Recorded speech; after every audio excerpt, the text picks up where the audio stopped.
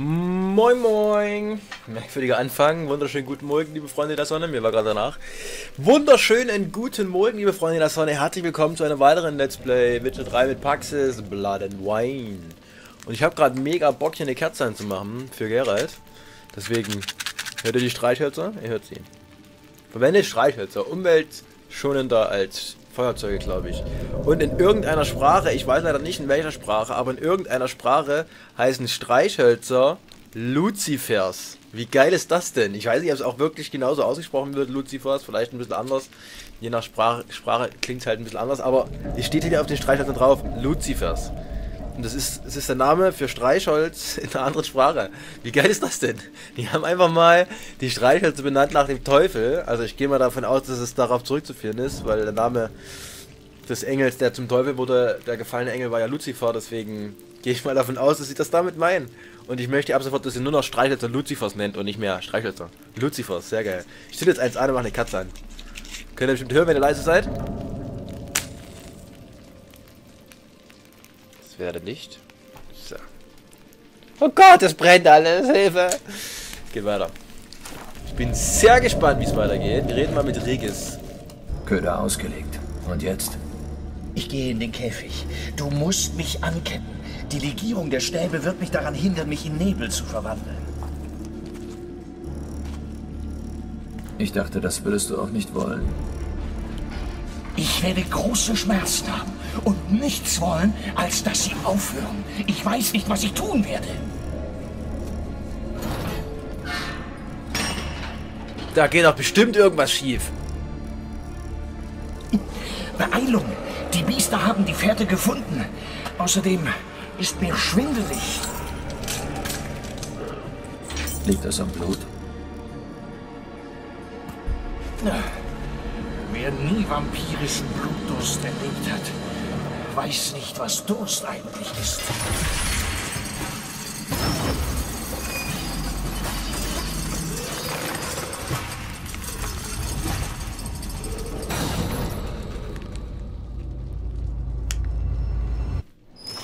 Vielleicht brauchen wir eine Parole. Du weißt schon, du sagst sie, wenn du es nicht mehr aushältst.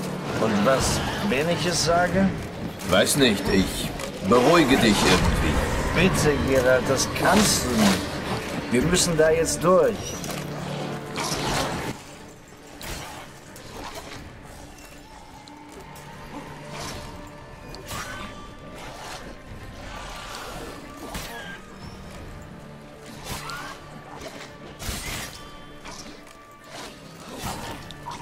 So, und?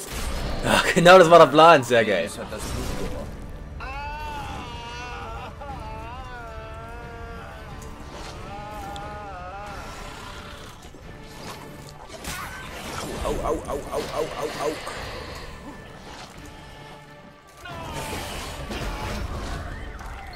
Die drehen aber ganz schön durch, die Kollegen hier.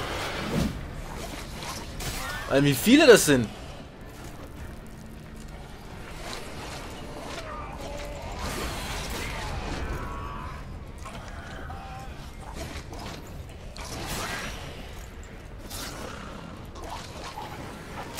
Sehr gut. Nice. Alles klar soweit?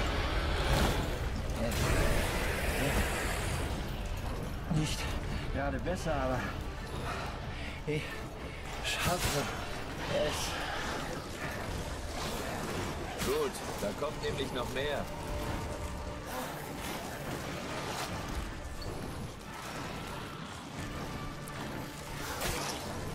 Scheiße. Fuck, fuck, fuck. Das scheint echt nicht so leicht zu werden, wie mir scheint. Das sind echt verdammt viele Gegner.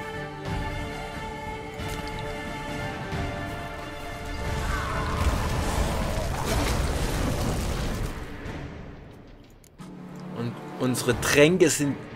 Tränke. Unsere Tränke... Tränke, wie auch immer, sind jetzt schon sehr, sehr knapp.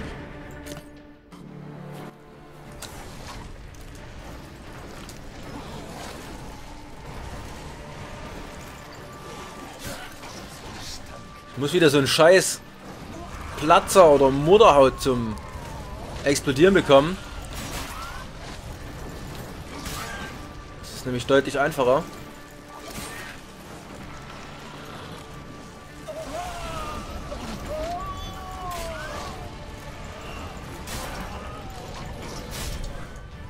Was? Wie bin ich denn jetzt gestorben?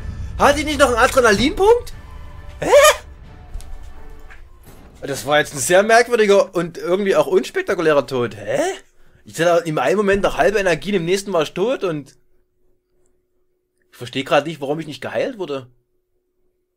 Darum muss man sich da verlassen können. Also ich gehe jetzt... Hä? Hatte ich keinen Adrenalinpunkt mehr? Es ist auch niemand direkt gestorben. Ich habe nicht gemerkt, dass in dem Kampf irgendjemand mit einem Schwertstreich direkt gestorben wäre. Obwohl ich immer versuche, mit maximal Adrenalinpunkten zu spielen. Um diese direkt töten Wahrscheinlichkeit zu erhöhen. Mhm, da starten wir also hier. Gut, habe ich alles ausgewählt? Ich überlege gerade, soll ich noch eine Bombe, äh, mit Bomben arbeiten? Das wäre eigentlich gar nicht so schlecht, oder? Was haben wir da? Besserte Kartesche und überlegender tanzender Stern, okay. Dann würde ich sagen, nehmen wir erstmal das und dann nehmen wir das rein. So. Köder ausgelegt. Und jetzt? Vielleicht brauchen wir eine Parole. Du weißt schon. Du sagst sie, wenn du es nicht mehr aushältst. Und was, wenn ich es sage? Ich weiß nicht, ich beruhige dich irgendwie. Bitte, Gerard, das kannst du nicht. Wir müssen da jetzt durch. Hä, müsste der nicht mehr platzen, der Platzer, oder klappt das nicht, während er brennt? Krass, es klappt nicht, während er brennt. Gut zu wissen. Aha, Regis hat das Blut gerochen.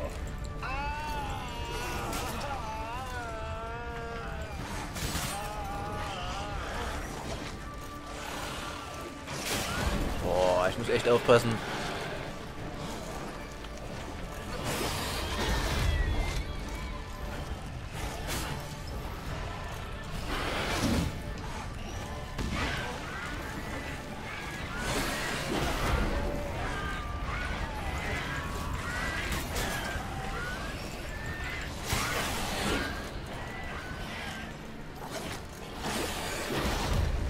Boah, es reicht immer noch nicht.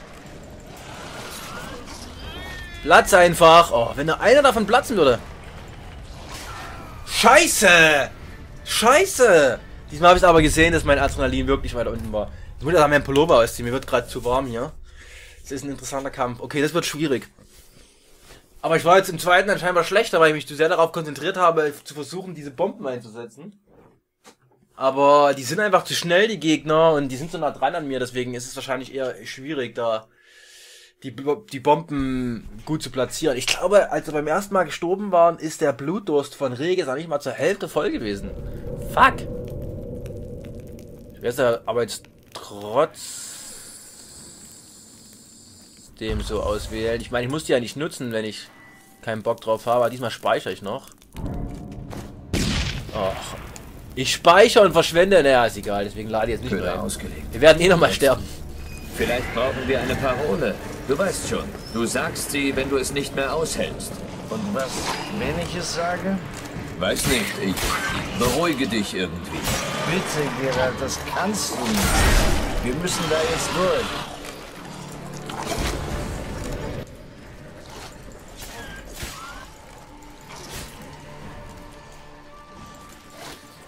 So, ich könnte natürlich mit Quen noch arbeiten, fällt mir gerade ein.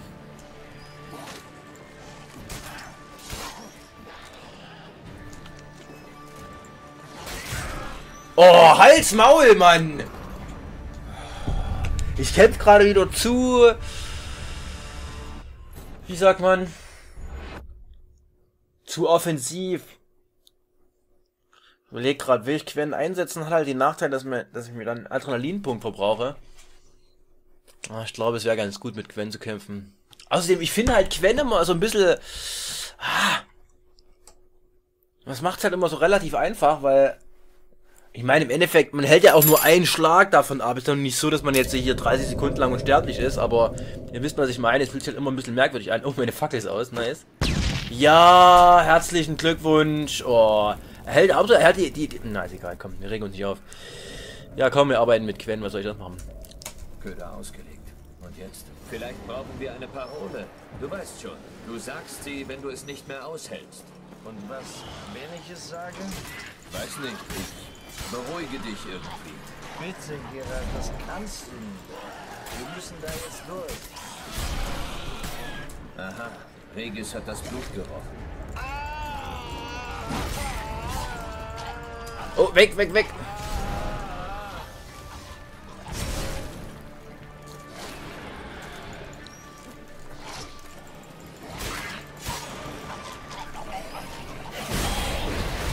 Hat den Flatterer erwischt? Ja, sehr gut.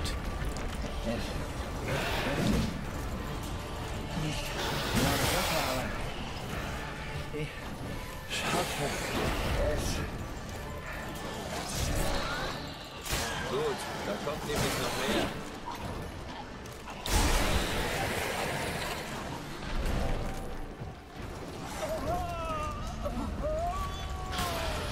Okay, Regis ist ja schon komplett voll mit Blutdurst, okay. Nice.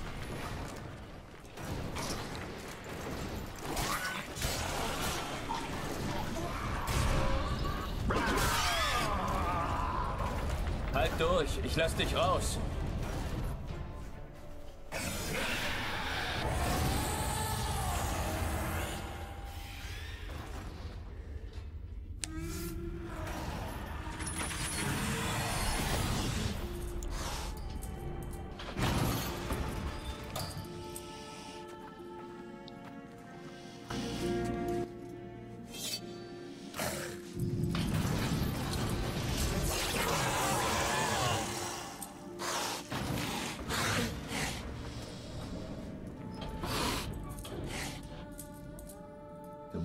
Bisschen durchhalten.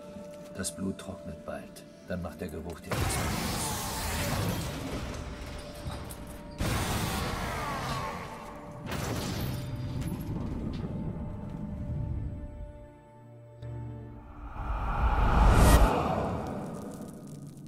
Ich bring dich hier raus.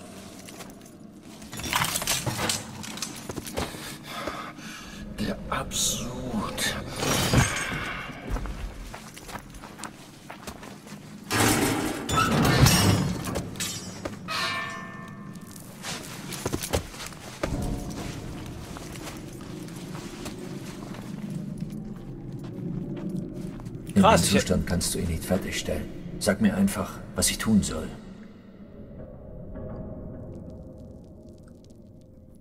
Krass, ich hätte gedacht, dass irgendwas schief geht oder so. Mit Quen war es dann wieder super simpel, aber ich glaube, ich habe mich auch einfach in dem letzten Kampf mit Quen besser angestellt. Nicht nur wegen Quen, sondern ich hatte ein bisschen Glück auf jeden Fall, aber ich habe mich auch besser angestellt. Also wäre wahrscheinlich auch ohne Quen easy machbar gewesen, wenn ich genau das gleiche Glück gehabt hätte wie jetzt im letzten Kampf.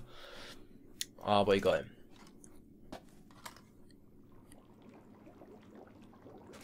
Wird es besser? Nicht gerade prickelnd. Es wird eine Weile dauern, bis ich mich erholt habe, aber. Etwas besser, ja. Danke.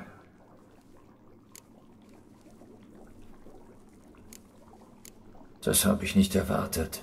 Du hast es mir nicht gesagt. Wir müssen nicht darüber reden. Ich will aber. Hätte ich geahnt, dass du dich einer Folter unterwirfst. Dann hättest du was getan. Detlef auf andere Art gefunden. Ich wollte nicht, dass du ihn auf andere Art findest. Hast du daran gedacht? Nein, weil ich nicht geglaubt hätte, dass sich irgendein Wesen freiwillig solchen Schmerzen unterwerfen würde. Da seid ihr Vampire doch auch nicht anders als wir. Ich sagte dir doch, dass das meine Art war, meine riesige Schuld gegenüber Detlef zu begleichen. Wenn ich es noch einmal tun müsste, würde ich nicht zögern. Der Resonanzabsud ist fertig. Bist du sicher, dass du das Rezept befolgt hast? Genaue Maße, präzise Kochzeiten? Es ist wichtig, Gerald. Die geringste Abweichung kann sogar einen Hexer fertig machen. Entspann dich. Ich habe etwas Erfahrung im Tränkebrauen. Also gut. Dann fangen wir an.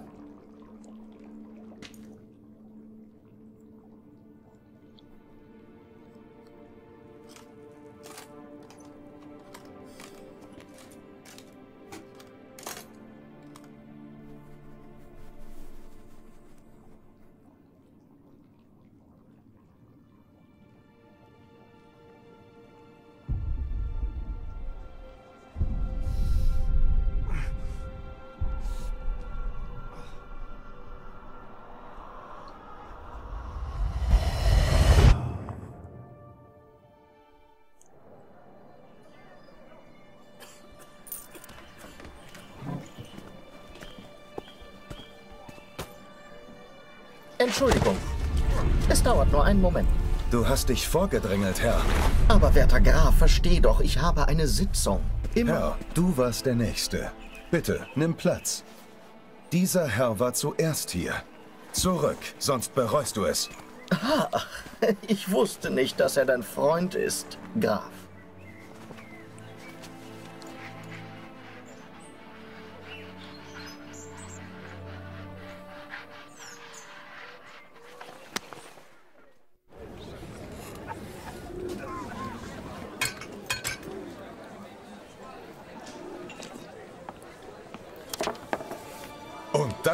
Ich ihm gesagt, er soll sich wegscheren.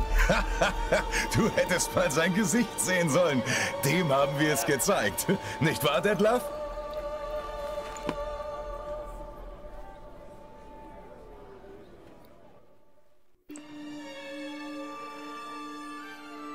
Aber Mutter bestand darauf, dass wir die Mühle kaufen. Komisch, oder?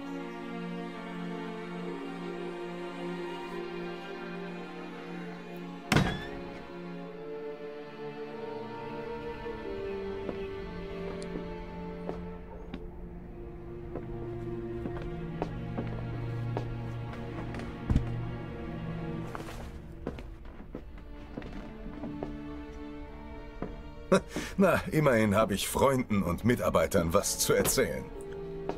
Vergib mir.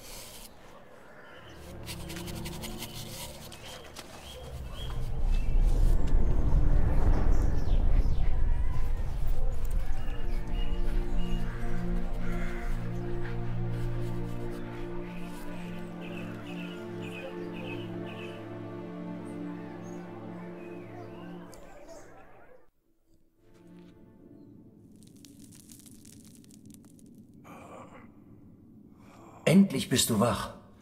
Du hast dich gewunden wie eine Schlange. Ich dachte schon, das wären Todeszuckungen und es würde dich erwischen. Angenehm war das wirklich nicht. Aber es hat funktioniert. Was hast du gesehen? Delacroix. Sein Tod war keine Bagatelle. Offenbar waren Detlef und er Freunde. Und trotzdem hat Detlef ihn umgebracht und seine Leiche zerteilt.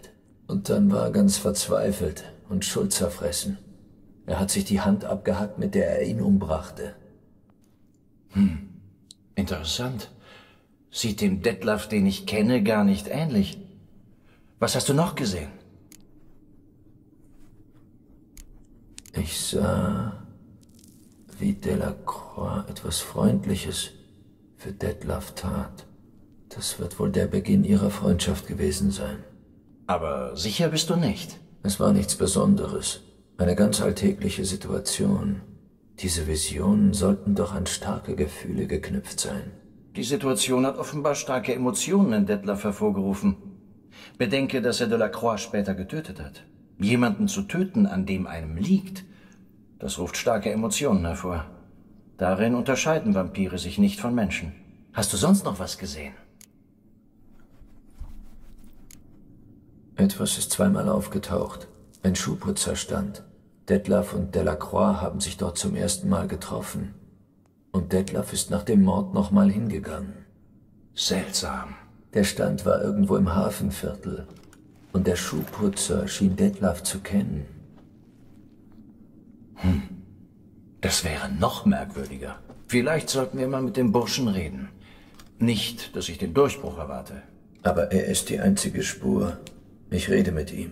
Kommst du mit? Ich stoße später zu dir, wenn es dir nichts ausmacht. Ich fühle mich noch nicht stark genug, um rauszugehen. Kein Problem. Ruh dich aus. Ich komme zurück, sobald ich etwas weiß.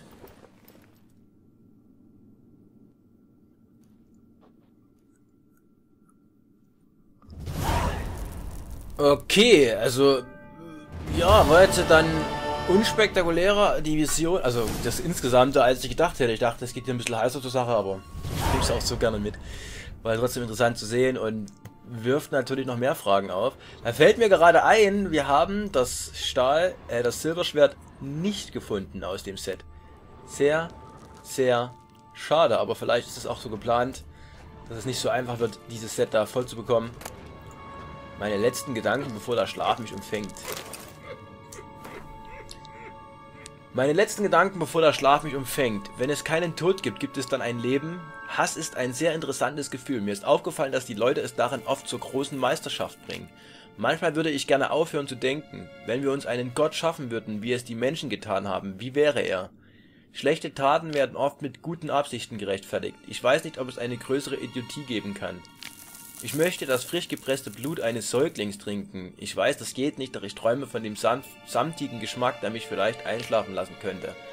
Ich bemühe mich, wie ein Mensch zu leben und das bedeutet, dass ich mich weder unter Menschen noch unter meinesgleichen wohlfühle. Vielleicht habe ich einen großen Fehler gemacht.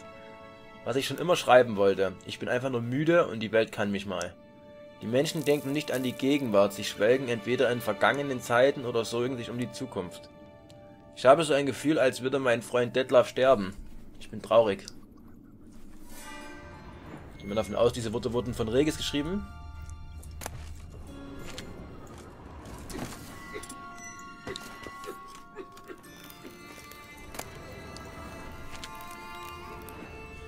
Jo, dann nehmen wir das noch. Rezept für Regenerationstrank. 8 Maß Eisenkrautextrakt, Waldschratzahn, Sankurum, Althantra, Brühe von jungen Alraunenschößlingen. Größere Zutaten zerstoßen, kleinere ganz hinzufügen. Alles im Bronzekessel in Kristallwasser gsieden. Täglich zweimal ein halbes Maß der Mischung einnehmen. Empfohlene Dosis nicht überschreiten. Tja, dann würde ich sagen, liken, kommentieren, abonnieren, wenn es euch gefallen hat. Ansonsten Daumen nach oben, damit wir euch loben. Euer Paxis, bis zum nächsten Mal. Tschüss, tschüss.